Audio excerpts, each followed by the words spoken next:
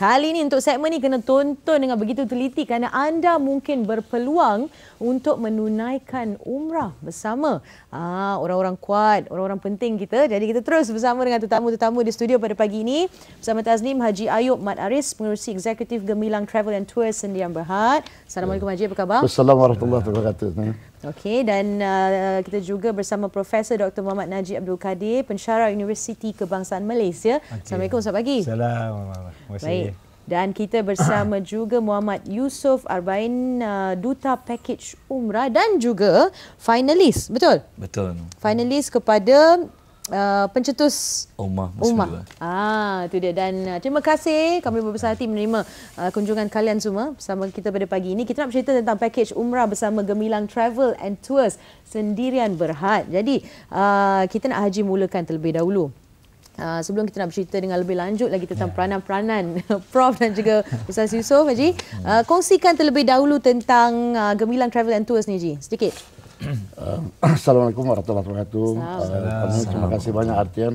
Uh, pertama sekali saya uh, nak mewawarkan bahawa Gemilang Travel akan mengadakan apa ni uh, umrah yang ada kelainan sikit Aha. daripada biasa. Pertamanya Ustaz Yusof nanti dia akan uh, membawa atau membimbing rombongan ini yang terbang pada 29 bulan Mac dan balik 7 bulan April. Mm-hmm. Nah, umrahnya ialah daripada Kuala Lumpur penerbangan terus ke Jeddah dan daripada Jeddah dia akan masuk ke Mekah.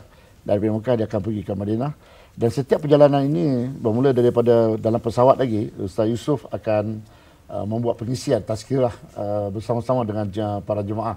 Jadi umrah ini agak kelainan sikit bahawa saya nampak apa ni Uh, dari time to time atau tempat yang kita ziarah yang kita lawati dipenuhi dengan uh, tazkirah yang akan dibuat oleh Ustaz Yusof dan Ustaz Yusof telah bersedia ha. uh, model-model yang hebat-hebat. Hmm. Itu saya uh. baru nak tanya nampaknya haji nak bagi tahu semua ni.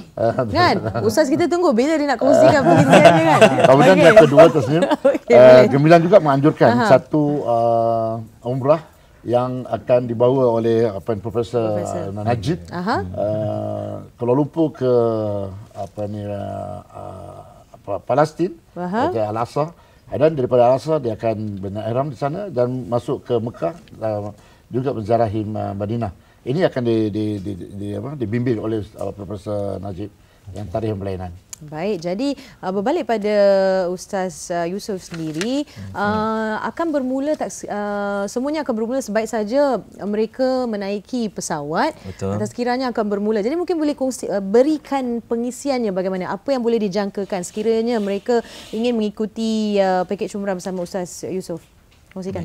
Uh, Bismillahirrahmanirrahim. Assalamualaikum warahmatullahi wabarakatuh. Salam. Baik, uh, untuk uh, pengisiannya uh, kita telah menyiapkan uh, beberapa tajuk, beberapa Aha. modul yang akan dipenuhi sepanjang daripada memula uh, naik pesawat daripada KL ni mm-hmm. sehinggalah kita nak balik nanti. Okay. Sama ada kita mm-hmm. berada di Mekah ataupun kita berada di Madinatul Al-Munawwarah. Baik. Jadi semua maklumat-maklumat tu ada di dalam uh, buku-buku yang telah kita sediakan. Kemudian uh, di antara uh, tazkirahnya bermula di dalam kapal terbang lagi. Mm-hmm. Okay, sampailah kita turun sampai di Mekah. Jadi di antara tempat yang biasanya orang cerita tentang masjid, betul tak? Ha. Tapi pada tas, uh, pada modul kali ini kita akan memberi fokus kepada dua tanah perkuburan yang terkenal sebenarnya, hmm. iaitu satu di Mekah dan satu lagi berada di Madinah.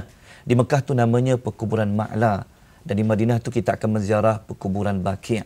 Hmm dalam program tersebut kita bukan sekadar mencerita dari sudut sejarah saja mm-hmm. sebab biasanya cerita dari sejarah mm. siapa penghuninya sebagainya mm. tetapi yang paling penting kita memberi fokus kepada apakah ibrah apakah hikmah yang boleh kita ambil sepanjang kita berziarah dan kita membuat lautan tersebut jadi dari sudut perkuburan uh, Ma'la ni sebenarnya uh, di antara perkuburan di Mekah yang sangat terkenal Hmm. Bahkan Nabi pernah menyebutkan bahawa inilah perkuburan yang terbaik. Hmm. Di situ adanya makam uh, Siti Khadijah dan ketika mana kita berada di perkuburan Baqi' di Madinatul Munawwarah yeah. di sana memang kita kita tak nafikan ramai pukul, ah, banyak kubur-kubur di kalangan ahlul bait Nabi keluarga Nabi anak Nabi isteri Nabi dan juga hampir 10,000 para sahabat dimakamkan di sana jadi di sana kita akan menceritakan tentang uh, bagaimana Nabi pernah menceritakan waktu di kubur itu bagaimana perjalanan ruh ni apabila kita nak keluar mm-hmm. akan melintasi tujuh lapisan langit bagi orang beriman. Jadi cerita yang sangat menarik nantikan. Ni baru sikit ni. Saya ha, dah betul. ke depan-depan ni nak dengar lagi, nak dengar lagi. Kan? Banyak lagi semuanya menanti anda. Sekiranya anda bersetuju ataupun ingin sebenarnya mengikuti um, bersama perjalanan bersama Ustaz Yusof sendiri. Dan uh, seperkara lagi juga, tur, uh, menarik pakejnya juga, kita nak minta Prof kongsikan Umrah Baitul Muqaddis.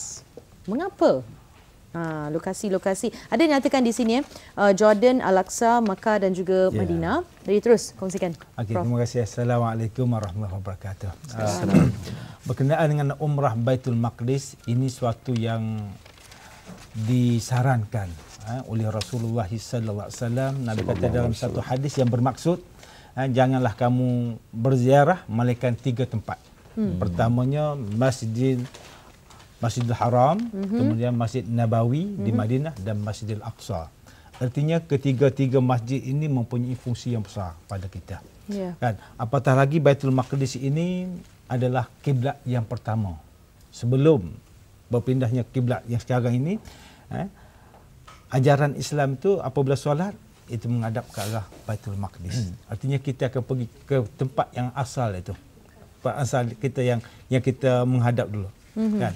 Dan yang keduanya ialah Baitul Maqdis ini suatu peristiwa yang cukup besar berlaku kepada Rasulullah SAW itu peristiwa Isra' dan Mi'raj.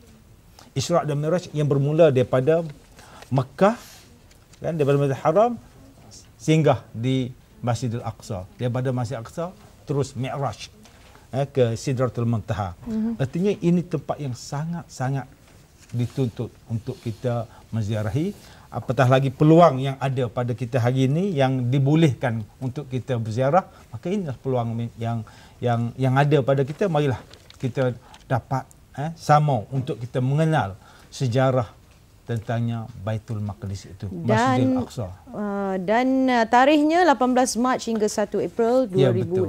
eh. Ya betul. Okey, dan berbalik pada Haji sendiri uh, Cik Haji ada lagi yang nak dikongsikan? Kabarnya uh, berita baik juga. Sekiranya anda mengikuti rombongan uh, Gemilang Travel and Tours anda juga akan dibekalkan dengan uh, beberapa uh, peralatan yang cukup canggih dan yang penting memudahkan perjalanan anda sebenarnya. Apabila anda mendengar tazkira dan juga mengikuti rombongan tersebut. Kongsikan Haji.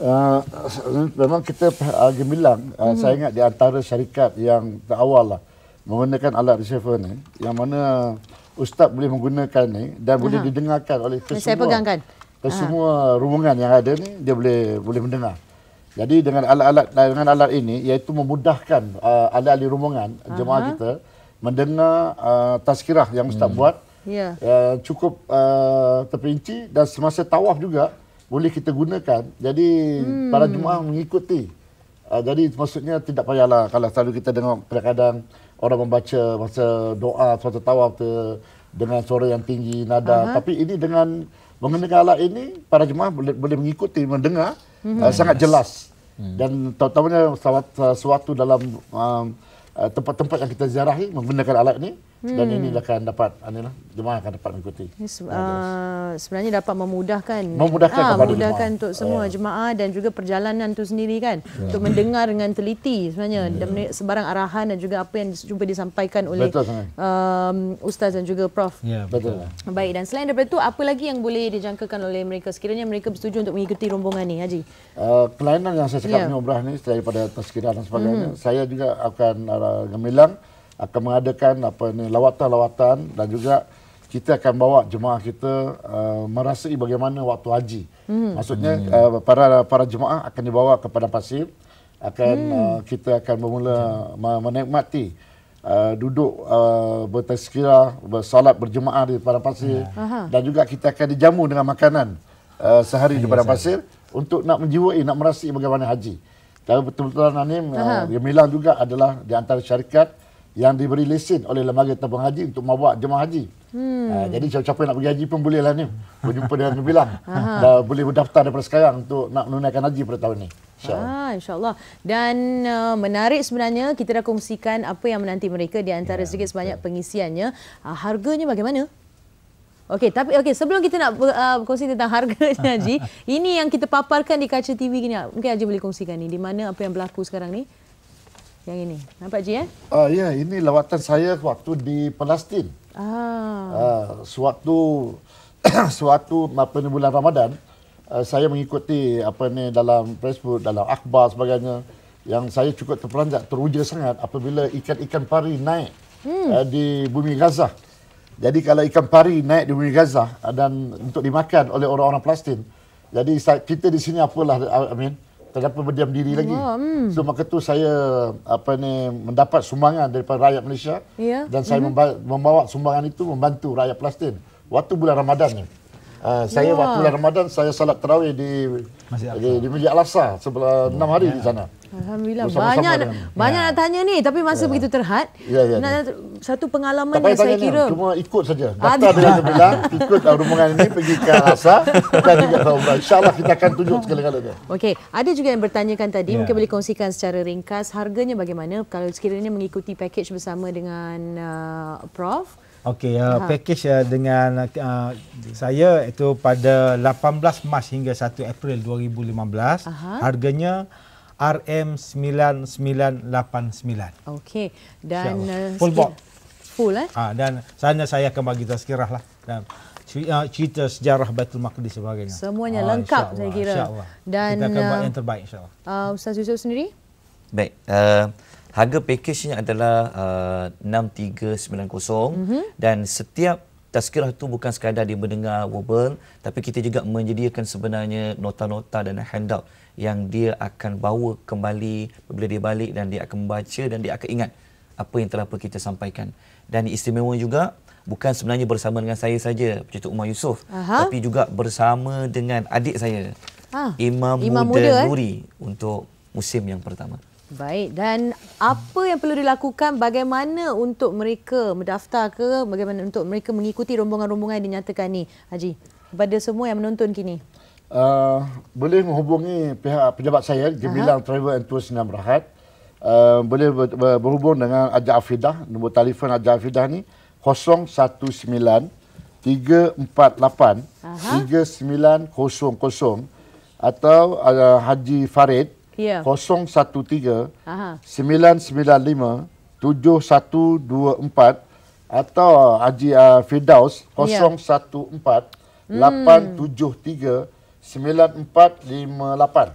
Kalau Gemilang Travel boleh hubungi 03 Ada di sana ada di sana. Aha, ha, seperti yang tertera di kaca TV, di crawler tu yang berjalan-jalan tu, ha, anda boleh dapatkan maklumat dan uh, jangan lepaskan peluang ini, satu package yang begitu lengkap dan telah pun dinyatakan oleh tetamu-tetamu kita tadi bersama Prof dan juga Ustaz. Hmm. Uh, jangan lepaskan peluang ini dengan harga yang begitu saya kira berbaloi dengan apa yang ditawarkan. Ya, uh, jadi anda dah tahu bagaimana untuk menghubungi mereka sekiranya anda ingin menjadi sebahagian daripada rombongan uh, Gemilang Travel and Tours ini. Jadi sekali lagi terima kasih Haji. Ya, terima, terima kasih. kasih. Uh, terima kasih. Terima kasih Ustaz Yusof dan juga terima kasih Prof. Okay,